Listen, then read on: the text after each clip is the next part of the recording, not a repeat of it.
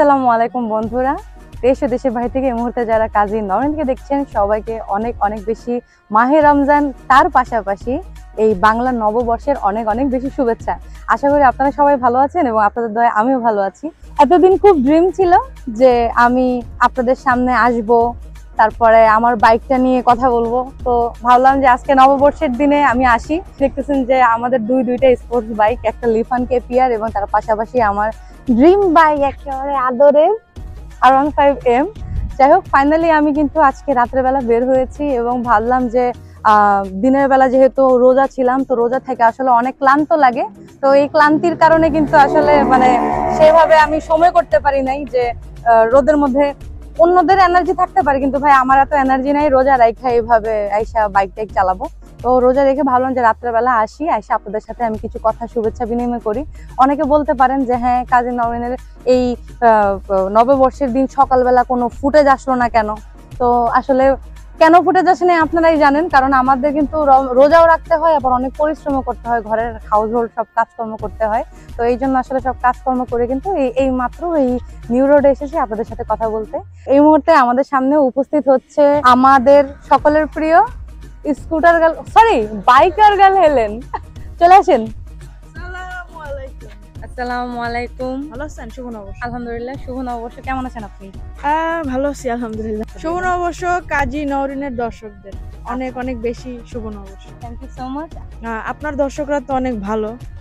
তারা আপনার পাশাপাশি আমাকেও সাপোর্ট করছে। এই জন্য আপনাদেরকে অনেক অনেক বেশি শুক্রিয়া আপনাদের প্রতি। নববর্ষতে আজকে আমরা প্রায় দুই বছর পরে বেরোইছি মেবি আজকে আমরা শেখ হাসিনার একটা বক্তব্য দেখলাম টিভিতে তো উনি বলল যে দুই বছর পরে আপনারা বেরোচ্ছেন সবাই সেফটি নিয়ে বেরোবেন।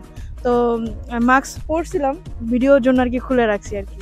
আর এখন রাত্রেবেলা কেউ নাই ভাইরাস ছড়ানোর পসিবিলিটি কম। তো রোজা রেখে বেসিক্যালি বের হওয়া হয় না? আর রাত্রেবেলা একটু ঠান্ডা পড়ে সানবার্নটা একটু কম হয়। এই জন্য ভাবলাম আপনাদের জন্য আমরা ভিডিও মেক করতে পারি কিনা। এই জন্য এই নিউ রোডে আসা। তো আপনারা ভালো থাকবেন, সুস্থ থাকবেন। আর হচ্ছে নববর্ষ, আর যেখানে যান না কেন মাস্ক পরিধান করার চেষ্টা করবেন। আর দুই বছর পরে আমরা একটা নববর্ষ পাইছি। এই জন্য আল্লাহর কাছে শুক্রিয়া করেন। পৃথিবীটার যেন এরকম স্থিতিশীল রাখে। আমাদের সবার সবাইকে যেন সুস্থ রাখে আল্লাহ তালা বাহ। থ্যাংক ইউ সো মাচ আর রমজানের আবারও শুভেচ্ছা আপনাদের। আর প্রত্যেকটা দিনই নতুনের মতোই কিন্তু আমরা যখন ঘুম থেকে উঠি ঘুম থেকে ওঠার পরে কিন্তু আমরা প্রথম একটা সকাল দেখি। সেই সকালটা যেন আমরা সুন্দরভাবে ভালো একটা কাজ দিয়ে কিংবা নিজেকে নিজে ভালোভাবে গুছিয়ে যাতে শুরু করতে পারি দিনটা এবং শেষ করতে পারি সেই চিন্তাটা আমাদের ভিতরে থাকতে হবে। আমাদের যে মনুষ্যত্বটা সেই মনুষ্যত্বটা যেন কখনোই মৃত্যু না হয়। আমাদের ভিতরে মনুষ্যত্ব দিয়ে কিন্তু ডিপেন্ড করবে যে আমাদের আগামী দিনের যে মানুষগুলো আমাদের জীবনে আসতেছে, সেই মানুষগুলোর ডেভেলপমেন্ট হ্যাঁ? তো সেদিক থেকে আমি যদি একটু বলি, আজকে সারাদিন দেখা, আমি যখন ইফতারি শেষ করলাম, ইফতারি শেষ করার পরে আমি বের হয়ে দেখছি যে সব যত মানুষ আছে পাঞ্জাবি টাঞ্জাবি পইরা এমন একটা টান দিতেছে, মনে হতেছে যে জীবনে সব বাধা পাড়ায়া একদম পুরা ধুম থ্রি, ফোর, ফাইভ, একদম স্পিড ব্রেকার কি আছে, না আছে, কোনো কিছু দেখার দরকার নাই স্পিড ব্রেকারের উপরে ঠাস করে একটা টান দিয়া চার ফুট, পাঁচ ফুট উপরে উঠে চলে যেতেছে, মাথার উপরে হেলমেট নাই, পাঞ্জাবি পরা একটা আবার অন্যও দিছে, কিন্তু অন্য দিয়া তো লাভ নেই, পুরুষ মানুষের তো আর অন্য লাগে না, কিন্তু এরপরেও একটা অন্য কোনো রকম দিয়া দে টান তো এই জিনিসগুলো আসলে করাটা কি আমাদের জন্য ঠিক না। আর এটার জন্য আসলে সত্যি কথা বলতে আমরাই দায়ী। আমরা এক একজন ব্লগ করি এক একজন রেস করি এক একটা বাইকের সাথে এক একটা বাইক এই যে আমরা ব্লগাররা আমরা রেস করি। I am sorry to say আমি আমাদের কথা বলতেছি হ্যাঁ? আমরা ব্লগাররা আমরা এক একটা স্পোর্টস বাইক কিনছি, তো আমরা রেস করি এই বাইকের সাথে ভার্সেস ওই বাইক ওই বাইকের সাথে ভার্সেস ওই বাইক এখন আমরা যদি এইসব রেস করি, তাহলে আমাদেরকে যারা দেখতেছে, তারা তো এগুলাই প্রমোট করবে, তাই না? তাহলে এটা দোষ কাদের? আমাদের। আমরা আমাদের ব্লগারদের নববর্ষে প্রত্যেকটা মানে বাইকারদেরকে বলব মানে আপনারা আপনাদের লিমিটে রাইড করেন এবং যদি আপনারা অনেকে আছে অনেক ভালো চালায়, ভাই আমি একদমই ভালো চালাই না, আমার কথা বাদ। কিন্তু অনেকে আছে অনেক ভালো চালায়, অনেক ভালো স্কিল একদম দেশ বিদেশ ঘুরে ফেলাইছে, সব ঠিক আছে। কিন্তু ভাই, দয়া করে হাম্বল রিকোয়েস্ট আপনারা স্পিড প্রমোট করেন না।